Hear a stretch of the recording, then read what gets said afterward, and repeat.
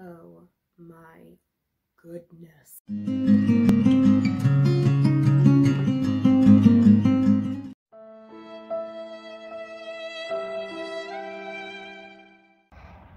Guys, you will not believe how tough it has been to film this video, okay?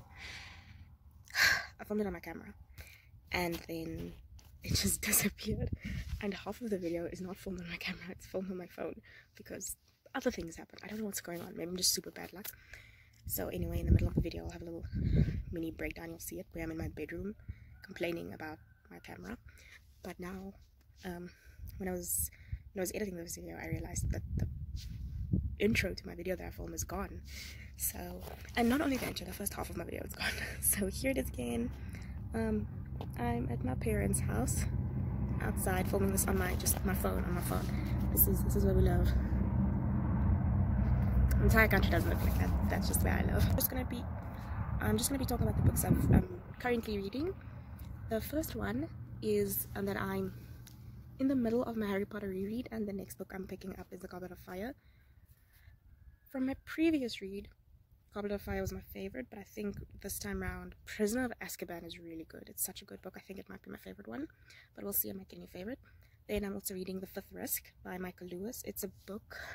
It's honestly uh, very difficult for me to explain. It's nonfiction, and it's about the DO, the Department of Energy, the DOE, and what happened after Trump's inauguration, or after the new, not government, the new, I don't know, is it called the new government, um, or the new office took place, whatever, took over. Um, I've been reading it for like a month already. I'm reading it very slow because while it's a good book and it explains the concept very easily, especially for someone who isn't into that subject specifically, I can still tell what's going on. Um, but it's a good book. Um, but I'm reading it so slow because it's it's difficult to get through. The next one I'm reading is Sadie by Courtney Summers. I'm reading it for the Atlas Book Club by Mackenzie Lane, or actually hosts the book club. I was really excited to read it because um, you get to vote for a book, and I voted for Sadie, so I was really happy when it won.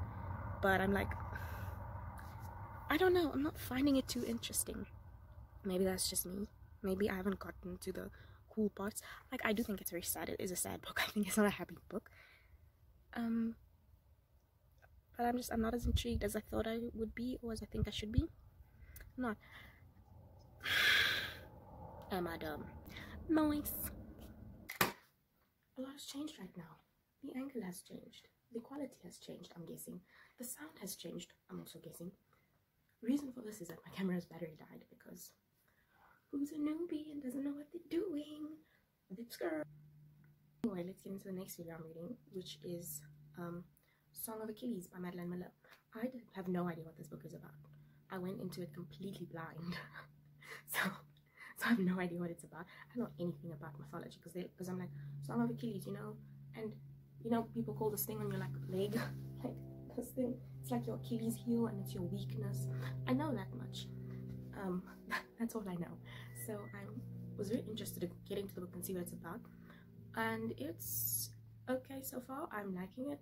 The characters I feel are very um I feel like I can't say they're fleshed out yet because I'm not far enough into the book but I do feel like each, each character has their own personality and I can tell them apart. Um, especially when it comes to our main character and then also Achilles. I don't think he's... Sorry, I popped.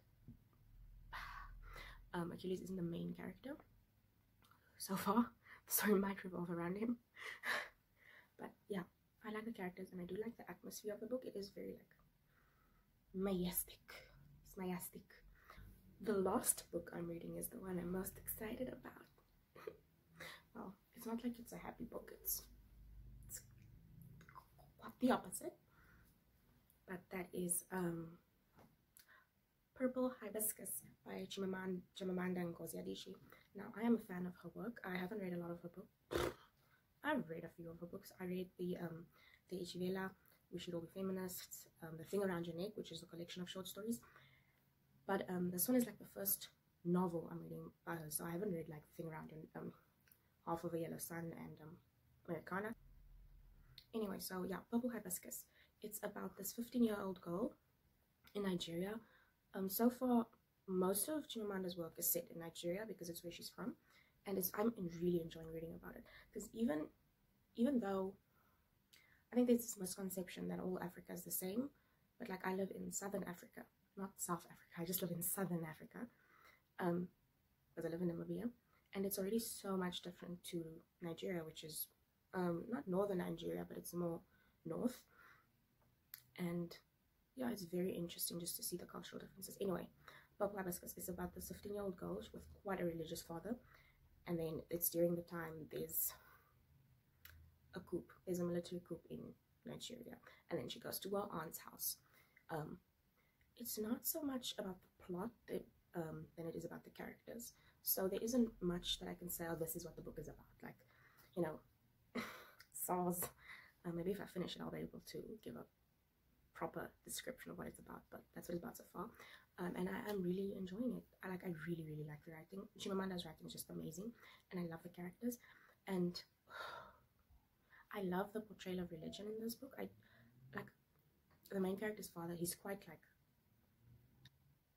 he's like scarily religious. Like he would beat his family, you know, because he's like, you guys are bringing the devil into this house if they eat less than an hour before they go to church. I didn't know that was a Catholic thing. Apparently it is, but still, he's beating his family. He's beating his family. But then you get um the main character. Her name is Kambili. Her aunt is also very religious, but she's like not a bad character. She doesn't beat her family. She laughs. Okay, Kambili almost doesn't know what it's like to laugh because she doesn't live with that. She's not used to that. And it's hard to read. It definitely is hard to read. And also, you feel quite sorry for Kambili because this is all she knows. This is what she's used to. This abuse that she receives from her father is is what she thinks is normal. But then she goes to her aunt's house and she's like, but wait, these people laugh. These people can just talk without having to analyze and think about what you're saying.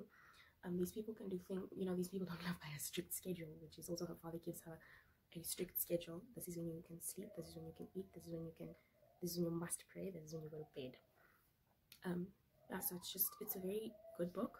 It's well written. I love the characters. The characters are very well developed.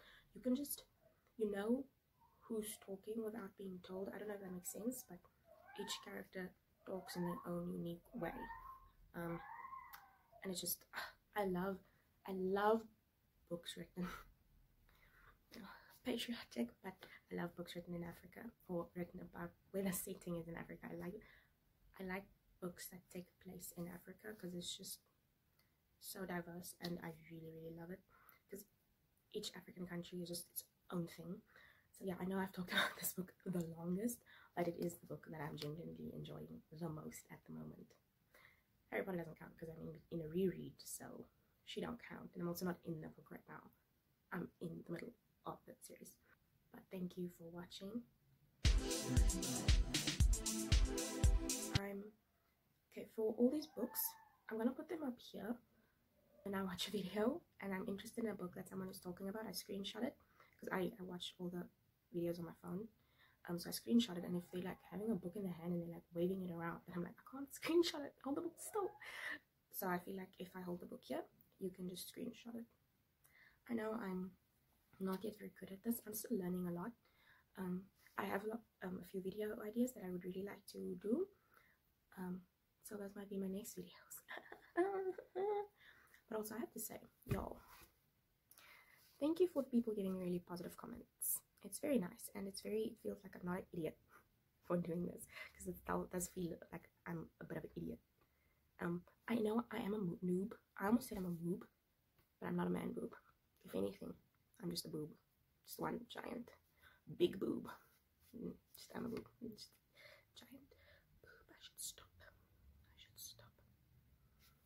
Anyway, thank you very much for watching this video. If you did like it, feel free to subscribe. Or not. You can just like the video. Or you can just you can do what you want.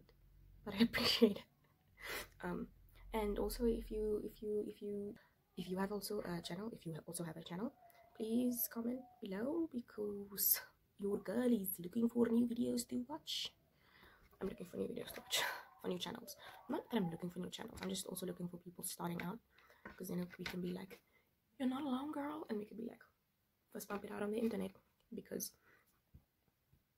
people need internet friends okay i'm sick of people talking about internet friends and i don't have any internet friends okay is this angle working for you? okay, no. Thanks for watching this video. And like I said, please comment and subscribe and let me know if you have a channel. Even if you don't, just be like, what's up, girl? What's up, girl? What's up with you? And if you have any questions, just leave it below. I'm just babbling now because I I just, I'm enjoying making these videos. Okay, bye. I love you. Probably unless you're a bad person, but I probably love you. Mm, okay, so this hot piece of a video, but you know, what? I'm so glad I did it, so. Um, thank you for watching. I'm sorry about it being all over the place. Um, and I'm just, but I'm glad you're here. Thank you.